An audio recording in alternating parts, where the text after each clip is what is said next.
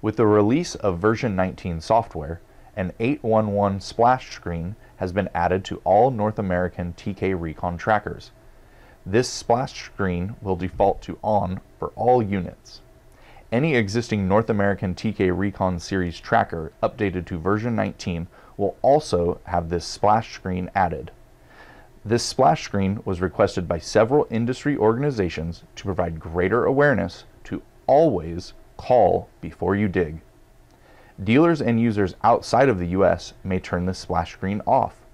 Now, let's go into the menu and see how to enable and disable the splash screen.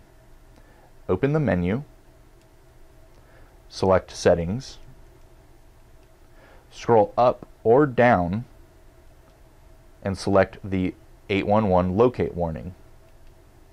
Select your choice of splash screen on or off. You may now exit the menu.